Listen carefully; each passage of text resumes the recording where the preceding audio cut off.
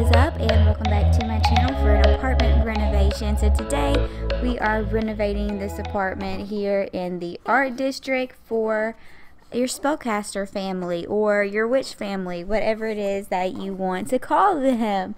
So I have yet to, well, I mean, this is my first build, I guess you would say, uh, with the witch stuff that's not in Glimmerbrook and I decided that I wanted to go for a more dark, gothic, and modern theme because the vibe I get from Glimmerbrook, and especially with the furniture um, that came with the pack. I forgot what style furniture that is. It actually has a name, but it's like wooden and flowy, but it's very cottagey vibes to me. So I definitely wanted to go with something just a little bit different. So I don't use a lot of the furniture and stuff that we got with the pack, but I do use some of it. And of course, this is an apartment, and um, since I wanted to go with something more modern, I decided to build in the Arts District just because the exterior of the apartments in the Arts District is more modern and it kind of fits that aesthetic a little bit more. But, anyways, you don't have room for like a cauldron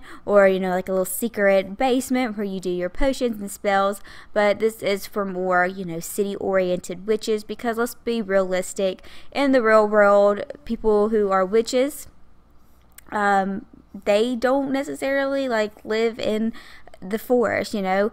They could live in the city, they could live out in the country, they could live in the suburbs, you know, you, you never know. Whatever they practice, um, yeah so of course your sims are going to have to like go to glimmerbrook if they want to use a cauldron or you know something like that but that secret magical realm world makes sense for your sims that don't necessarily live in glimmerbrook because it is such a small world anyways but so back to or on to because I don't even think I've really mentioned the build much.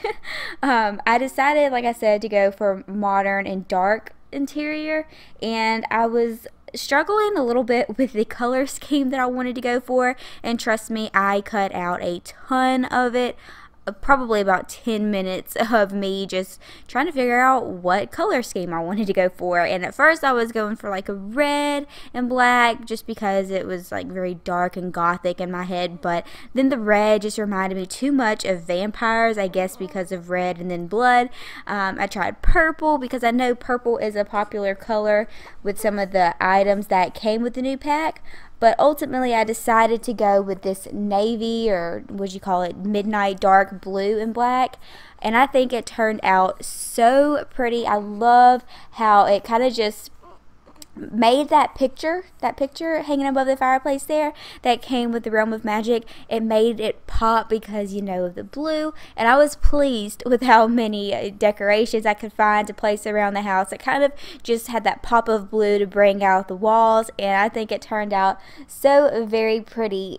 And yeah, I'm, I'm, I'm, a fan. But over here where I put a desk and a bookshelf, I do use the bookshelf that came with the Magic Realm of Magic pack because it has like the potions and it's very witchy. And I do put um, the little, I don't know, what, what do you call it, like a little curio cabinet or something in the kitchen um, by the dining room with like potion stuff.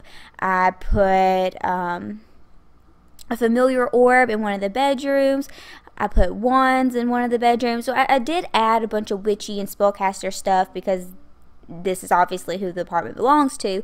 But, you know, like I said, it's more modern and city like. But anyways, this floor plan for this apartment, well, okay, this apartment is not one that I typically tend to uh, build in just because of the placement of the windows. And I know that there's a cheat where you can change the windows and kind of, you know, add on to the exterior of the house. But I don't like to use that cheat because I like it to blend in with the exterior. I don't want to like jack up the exterior, make my one apartment different from all the others. You know, it just, I know it's a game and it, it doesn't always have to be realistic, but to me it just makes absolutely no sense. So I always try to go around the um, the windows and the placements when I do my floor plans.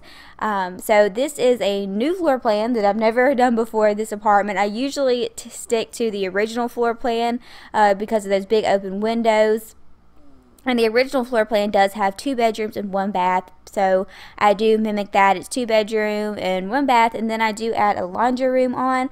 But I actually gave the view right here the very nice view.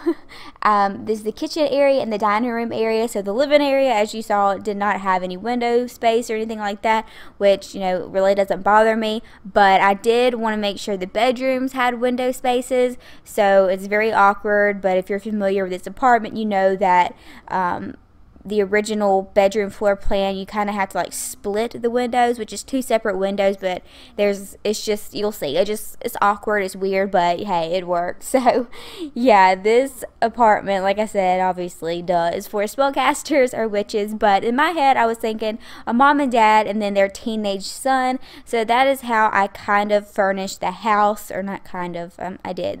it's a teenage boy's bedroom and a parent's bedroom, but anyways i didn't use too much clutter throughout the house especially in the kitchen. I've said this before when i do more modern or trendy style houses i just get a very clean vibe from that style. And I don't know if that's realistic because that's not at all how I'm used to growing up in these modern style houses. We I've said this so many times we, I just don't see a lot of modern interiors or exterior houses for that matter.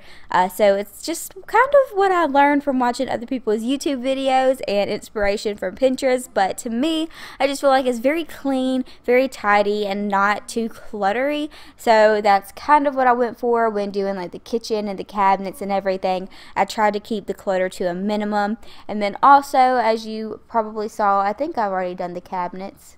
Yeah, the cabinets above the counters.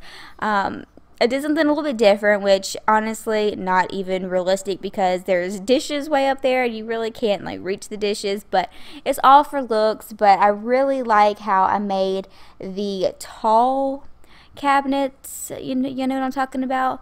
How I made them kind of like reach all the way up in these tall walls that come with this apartment.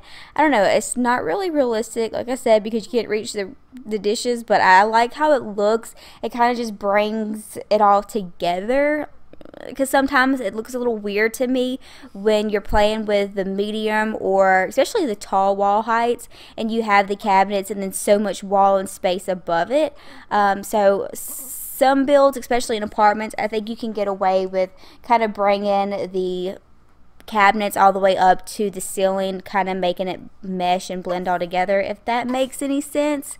Um, I don't know if you can hear my son, but this is kind of um, the usual on my voiceovers now. You may hear him fussing and making some noises in the background because I try to do my voiceovers when little man is napping, and sometimes, you know, he stirs in his naps, and I'm probably disturbing him with my big mouth talking. Um, but I think right now he's just a little bit gassy. He's been tooting away, and dude, let me tell you, this kid farts louder than a grown man, so if you hear a fart, I promise it wasn't me. but anyways, we're almost done with this voiceover. So far, so good. He hasn't made too much of a ruckus, but I do believe he's starting to stir and get a little bit hungry. But anyways yeah just ignore the baby noises going on in the background but here we are in the laundry room which is off to the kitchen and i try you know me if you're familiar with my speed builds and you watch them on the well, I wouldn't say on the daily. I don't upload daily anymore, but if you watch them regular regularly, I cannot say that word regularly. There you go. Is that right? you know that I really like to include laundry rooms, especially in apartments. Um, I don't know how apartments are in other places or possibly in other states or other parts of the world and other countries. but I've lived in an apartment and I've been in many of apartments and there's a laundry room. There's even if it's not a room, it's the space in the bathroom, it's a space in the hallway, somewhere for you to do your laundry. I'm not really sure how it is in the city because you may have laundry mats. I, I'm not sure. So if you live in the city, like even if it's like New York City in the States or elsewhere, let me know. Do you have laundry in your apartments or do you take them elsewhere? I don't know. I've seen in some TV shows that apartments have like their own laundry room, kind of like downstairs. So that's pretty cool. So maybe that's how it is. I don't know. But I do like to have laundry in my Sims houses and apartments just because it's realistic to have that. But, anyways, here we are in the parents' bedroom and I went with that blue and black bed. So I did say this house was kind of like gothic, but it's really not gothic um, because it does have a little bit of color in it, but I wanted to go more towards like um, darker colors, but I think this bedroom right here is kind of more of the lighter side of the house. Um, but it's okay. I think it turns out really nice. I just like how modern it looked. I love that picture, how I made a pop. And over here, you'll see I put like a familiar orb and um, a few other things from the pack. I think, I don't know if I put it, I don't know if I did this on camera or off camera, but I was going through the debug objects and I pulled out one of the brooms and you can hang those on the wall. So I did hang a broom in their room. Maybe it just goes so fast you don't see me do that or I do it off camera. I don't remember, but yeah, there is a lot of witchy stuff in the room. Um, and right here in the hallway, I just put like a little lamp and some pictures. And I do imagine this family would have a cat just because, you know, witches, cats, and I don't really think it's realistic to have a dog in an apartment. I know a lot of people do have dogs in their apartment, but typically I would imagine a, an apartment suiting a smaller dog because big dogs, um, they just tend to, to me, need more exercise and more room to run around and roam around than little dogs. So when I do apartments and furnish them, I typically tend to add a cat in there just because cats kind of like to stay inside anyways and just chill and hang out. They have a litter box. You don't really have to take them for walks or anything. So yeah, apart from them being witches and you know the witch cat thing i did give them a cat or furnished it for a cat but anyways here we are in the son's bedroom and i think his bedroom turned out so nice i love how it's decorated it's cluttered has a lot of personality um, I was kind of like unsure how I was going to furnish it because it's kind of rectangular and definitely not my favorite shaped room to furnish. But I gave him a guitar, his own laptop, a wand,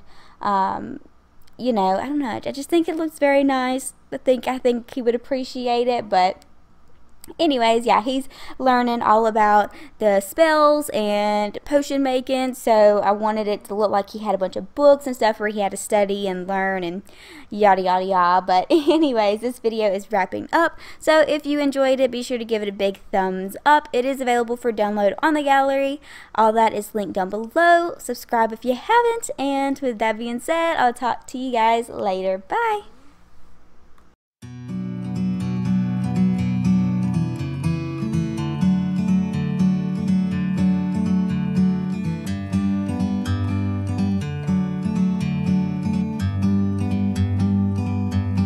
A bird on a tree.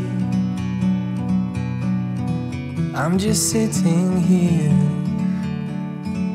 I got time, it's clear to see. From up here, the world seems small. We can sit together. It's so beautiful, you and me. We meant to be